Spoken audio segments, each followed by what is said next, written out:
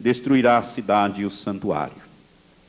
Irmãos, de acordo com aquilo que nós já ministramos aos irmãos, o povo que destruiu a cidade de Jerusalém e o santuário de Jerusalém, o templo, no ano 70 da nossa era, foi o povo romano. Foram as legiões romanas, e as legiões romanas eram formadas por soldados de todos os países que eles conquistavam e anexavam a Roma.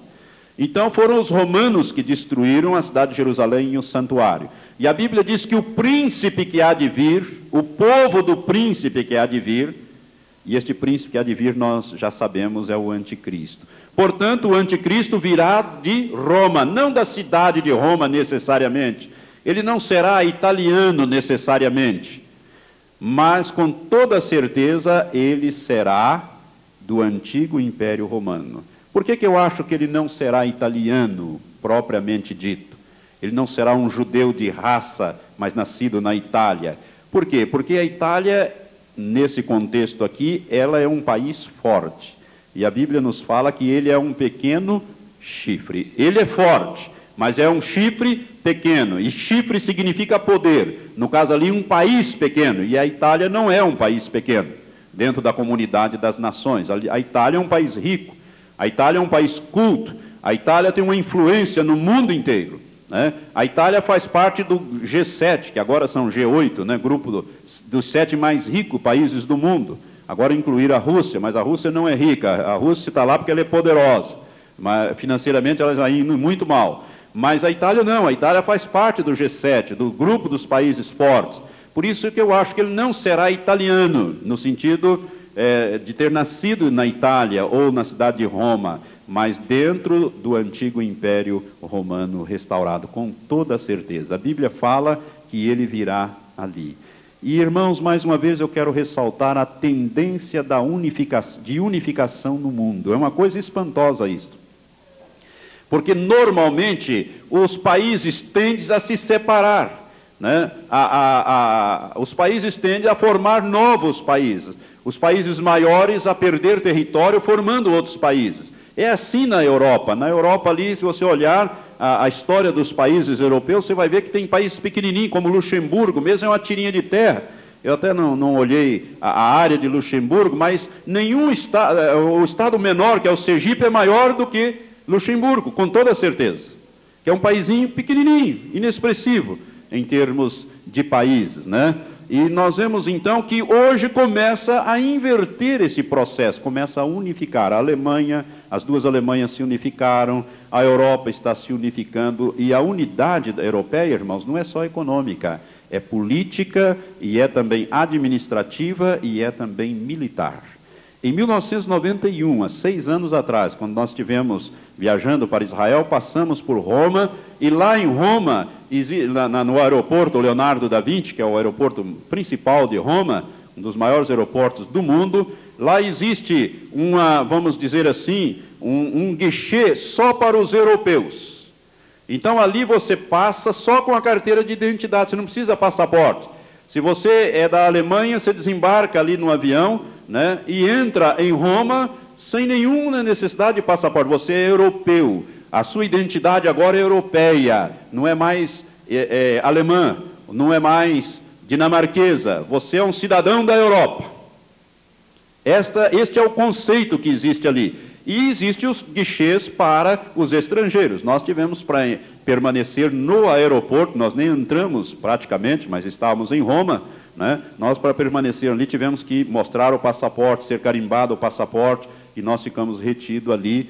Né? Por quê? Porque somos estrangeiros. Mas lá o europeu, não, ele entra e sai do país, assim como em todos os 15 países que fazem esta parte desta comunidade. Então, já é, já uniram a economia, estão unindo agora os territórios, derrubando as fronteiras, estão unindo-se politicamente. Existe o Parlamento de Estrasburgo, né, o Parlamento Europeu, onde se exerce, é, onde se elege os deputados para o Parlamento Europeu, que fazem as leis para a Europa. A moeda está pronta, que é o euro, que vai governar, que vai substituir o dólar no mundo.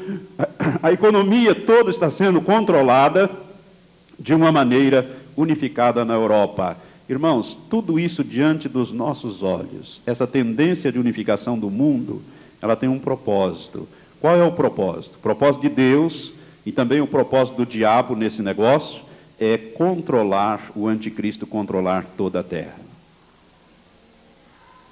Ele vai governar toda a terra. A Bíblia diz que ele governará por 42 meses com poder total. É claro que quando ele assumir no, quando ele, eh, ele aparecer no cenário mundial, ele já é um pequeno chifre, ele já é um governante de um pequeno país. Ele já estará governando, mas ele vai receber o poder para governar esses dez países. E é interessante que o livro de Daniel diz que esses dez chifres, diz que o pequeno chifre que vai aparecer depois, então preste atenção, primeiro aparece os dez, no estágio final serão dez. E do meio deles, ou seja, do mesma base territorial ali, do antigo Império Romano, vai aparecer o pequeno chifre. Três desses reinos vão fazer oposição, não vão querer entregar o poder a ele. E ele vai arrancar três dos primeiros chifres. E quando ele arrancar três dos primeiros chifres, ele passa a ser o oitavo rei, ou o oitavo reino neste negócio. Agora, se você, deixando o dedo marcado aí, for lá no livro do Apocalipse, no capítulo 17, nós encontramos aqui uma revelação a respeito da queda de Babilônia e também da visão da grande prostituta, que é uma igreja que está montada sobre a besta, ou seja, sobre o anticristo, tem a sua base sobre o governo do anticristo. E ali o anjo, dentre outras coisas, no versículo 15 ele diz: Disse-me ainda, é o anjo falando: As águas que vistes, onde se assenta a prostituta, são povos, multidões, nações e línguas. Então, na Bíblia, principalmente na revelação profética, águas simbolizam, então, aí no caso, povos, multidões, nações e línguas. Agora preste atenção: o anjo estava mostrando a, a João esta revelação, e João ficou espantado com o que ele viu, porque ele viu esta mulher, que é um símbolo de uma igreja, aqui no caso, uma igreja prostituída, cristã só no nome. No versículo 6, ela estava embriagada com o sangue dos santos e com o sangue dos mártires de Jesus. Quando a vi, maravilhei-me com grande admiração. Ao que o anjo me disse: Por que te, mara... Por que te admiraste?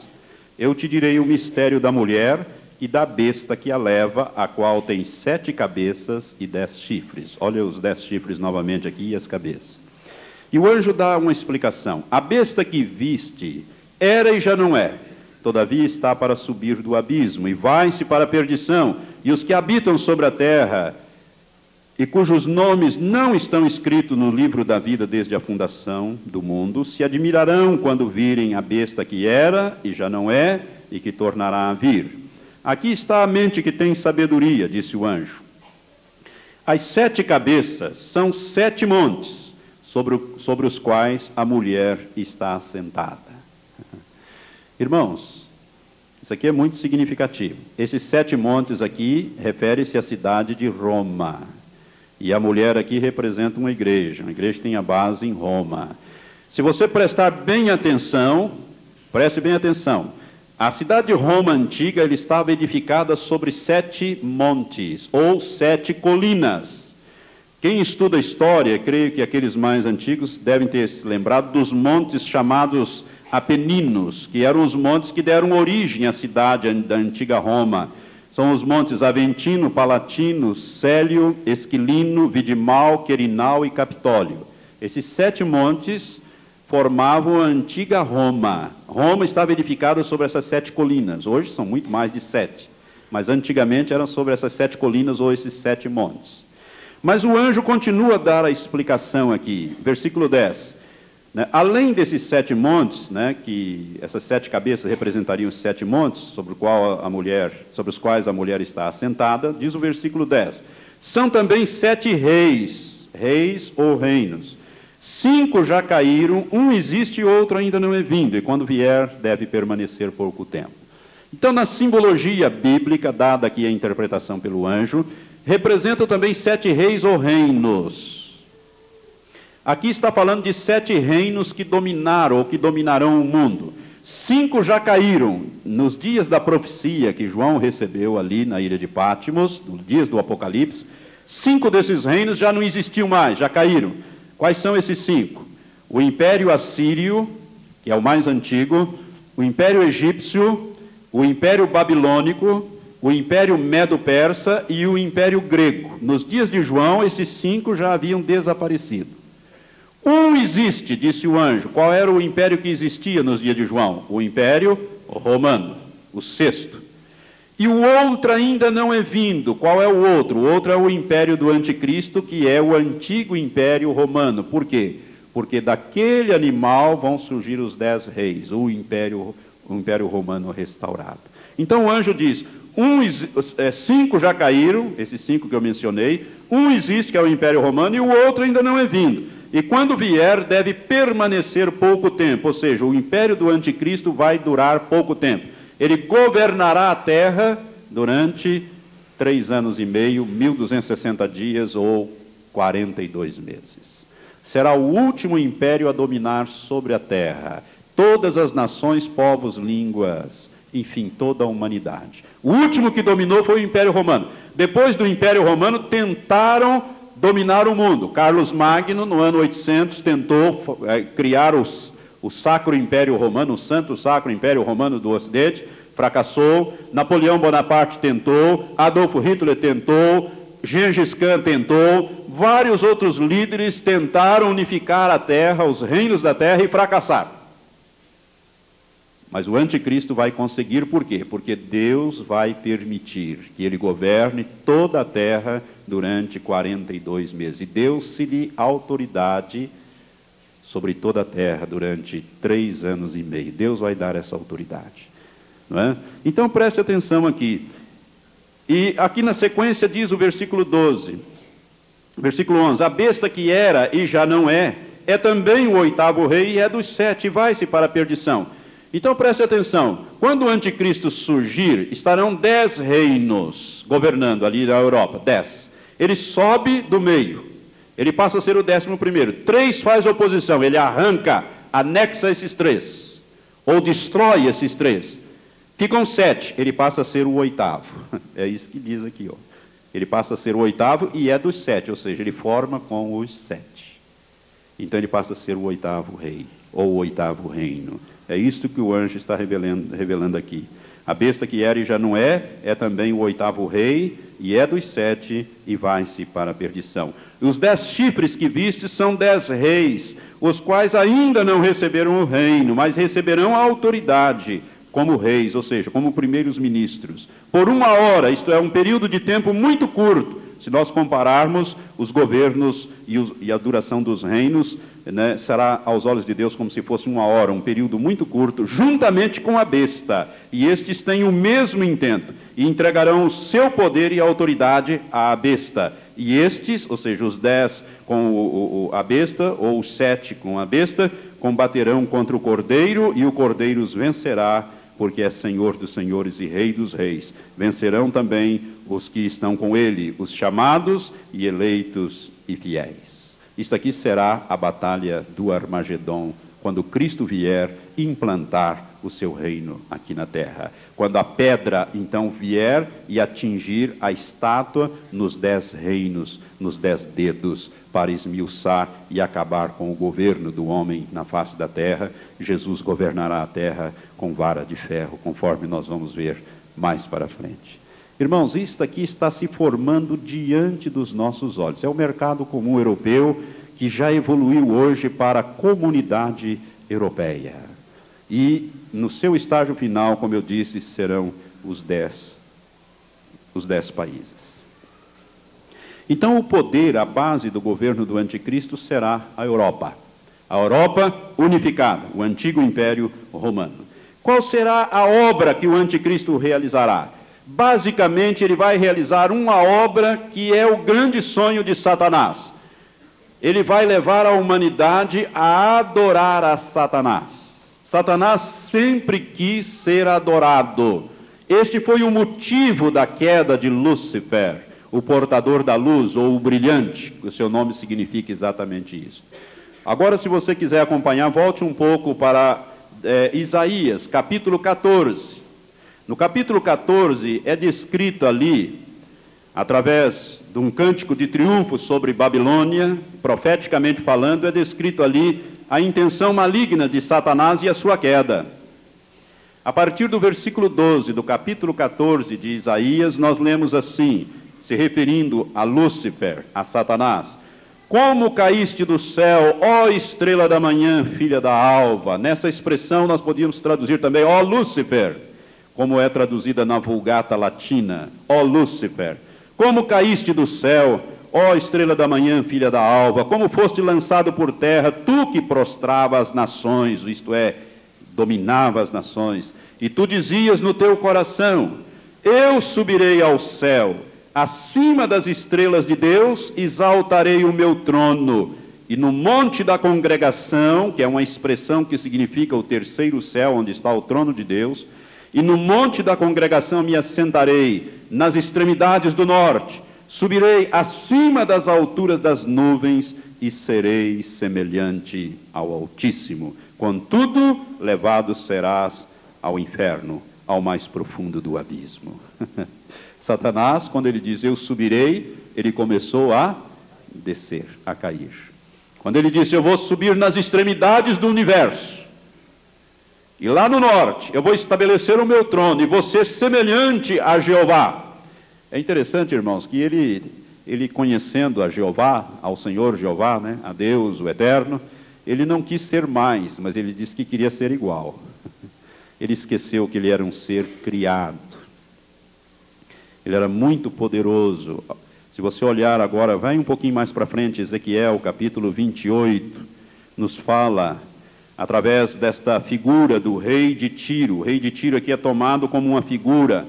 Não se fala, não se trata aqui do rei, o homem que governava a grande cidade de Tiro, mas sim Deus usa a figura do rei de Tiro para falar de Lúcifer a partir do versículo 11, diz assim: Veio a mim, capítulo 28 de Ezequiel, veio a mim a palavra do Senhor dizendo: Filho do homem, levanta uma lamentação sobre o rei de Tiro e diz-lhe: Assim diz o Senhor Deus: Tu eras o selo ou sinete da perfeição, cheio de sabedoria e perfeito em formosura. Estiveste no Éden, jardim de Deus. Cobria-te de toda a pedra preciosa, cornalino, topázio, ônix, a crisólito, o berilo, o jaspe, a safira, a granada e a esmeralda e o ouro. Em ti se faziam os teus tambores e os teus pífaros, no dia em que fostes criado, foram preparados. Tu eras querubim da guarda ungido, e te estabeleci, diz uma versão. Outra diz: Eu te coloquei com o querubim da guarda. Estiveste no Monte Santo de Deus, andaste no meio das pedras afogueadas. Perfeito eras nos teus caminhos, desde o dia em que foste criado até o dia em que se achou em ti a iniquidade. Então veja bem, versículo 17 diz: Elevou-se o teu coração por causa da tua formosura, corrompeste a tua sabedoria por causa do teu resplendor. Por terra te lancei, diante dos reis te pus, para que te contemplem. Aqui é uma descrição de Lúcifer antes da queda. Perfeito, sábio, lindo, poderoso. Este ser arrastou um terço dos exércitos de Deus, um terço dos querubins, serafins, arcanjos e anjos. Ele era um querubim ungido, isto é, ele tinha governo. Por isso ele disse: eu, eu subirei e exaltarei acima das estrelas de Deus, estabelecerei o meu trono. Ele já tinha um trono, que ele queria estabelecer lá no extremo norte do universo. Mas Deus diz que ia derrubá-lo de lá, e Deus mandou derrubar. E a Bíblia diz que ele veio para uma outra região entre o terceiro céu e a terra, que a Bíblia chama de lugares celestiais, ali, ou cosmos, em Efésios capítulo 6. É ali que está hoje o reino de Satanás. Satanás não está no inferno, ele está nessas regiões. Ali ele tem o seu reino organizado. Mas a Bíblia diz que Deus vai desalojá-lo desta região celeste e vai lançá-lo sobre a terra. Quando ele disse: Eu subirei, ele começou a cair. Do onde ele estava, do Monte Santo, ele veio para esta região do cosmo. Desta região ele vai ser arrojado na terra, conforme Apocalipse capítulo 12. E da terra ele vai ser lançado no abismo, mais fundo ainda. E do abismo ele vai para o lugar que foi criado para ele mesmo e para todos os anjos dele, os demônios e para todo aquele que recusar a salvação de Deus, que a Bíblia chama de lago que arde com fogo e enxofre, preparado para o diabo e os seus anjos. Então, irmãos, veja bem como é importante nós compreendermos esta profecia. Satanás sempre quis ser adorado. É por isso que na tentação do deserto ali, quando Jesus foi confrontar Satanás, depois de jejuar 40 dias e 40 noites, Satanás, depois de mostrar a ele numa visão, uma visão completa, uma visão espiritual, todos os reinos do mundo e a glória desses reinos, as riquezas desses reinos, ele fez uma atrevida proposta ao Senhor Jesus Cristo: disse: Se tu, prostrado, isto é, de joelhos, me adorares, Veja bem o que, que ele quer: ser adorado. Me adorares, tudo isto te darei, porque é meu, me foi entregue. Adão entregou, cometeu alta traição e entregou o reino da terra ao governo de Satanás. Me foi entregue, disse Satanás, e eu dou a quem eu quiser. A resposta de Jesus diz: Vai-te, Satanás, porque está escrito: somente ao Senhor teu Deus adorarás e só a Ele servirás. Ele sempre quis ser adorado. Se você quer estar bem com o diabo, adore o diabo. Irmãos, a adoração de Satanás está se tornando uma prática costumeira na terra. existe a igreja do diabo aqui no Brasil, você sabia disso? Lá em Belo Horizonte, a Manchete, a revista Manchete, publicou inclusive uma entrevista com este homem que lidera, que se auto-intitula Papa do Diabo. Eu tenho essa entrevista, eu tenho essa, essas fotografias e li essa reportagem, e ele é um homem místico, ele fala lá das suas origens. Uma coisa assim terrível, uma coisa blasfema. E este homem tem seguidores. E ele está erigindo lá em Belo Horizonte um grande templo a Satanás. Ele tem a Bíblia do diabo, mostrou impressa, chamada na capa assim, Bíblia do diabo. Irmãos, o satanismo no mundo, principalmente nos Estados Unidos, é uma coisa terrível. E os satanistas adoram a Satanás, são adoradores de Satanás. A doutora Rebecca Brown, ela publica um livro é, escrito a quatro mãos. E grande parte da revelação ali, Rebecca Brown, nos Estados Unidos, trabalha muito com a libertação de satanistas. E uma das pessoas que fala muito neste livro, que escreve neste livro, é a ex-bruxa Elaine. Ela foi a maior bruxa de Satanás nos Estados Unidos. Esta mulher tinha uma intimidade tremenda com Satanás, a ponto de manter relações sexuais com Lúcifer, que se transformava num homem lindo. Ela descreve isso nesses três livros, principalmente no primeiro livro. São coisas terríveis, irmãos, que estão acontecendo na face da terra. O satanismo ali na Califórnia é extremamente forte. O satanismo está envolvido nas Forças Armadas Americanas, na polícia americana, no sistema judiciário americano, na medicina. É uma coisa terrível a pessoa sair do satanismo. Os, os próprios satanistas e os demônios matam a pessoa. Filmes têm sido feitos sobre estes assuntos. Coisas terríveis são ocorridas. São adoradores de Satanás né, nos dias que correm. Eles entram, inclusive, nas igrejas para destruir as igrejas. Só para você ter uma ideia do que nós estamos falando, esta ex-bruxa Elaine era professora da escola bíblica dominical de uma igreja. E ela desviou, e era satanista. Ninguém sabia dentro da igreja que ela era satanista. E ela era professora da escola bíblica e desviou muitos jovens para o satanismo ela escreve dizendo: Uma das coisas que mais pesa no seu coração foram as vidas dos jovens que ela desviou para o satanismo. Coisa terrível. Por isso nós temos muito cuidado com as coisas de natureza espiritual e com as pessoas que assumem liderança na igreja. Não é, não é querermos dominar as coisas e manter, mas é zelo e cuidado das coisas de Deus, irmãos. Nós precisamos ter, porque Deus tem que revelar as coisas para nós, para que nós possamos caminhar com segurança nestes dias finais. Satanás então vai, o anticristo vai promover a adoração de Satanás. Se você for no capítulo 13 comigo, do Apocalipse, onde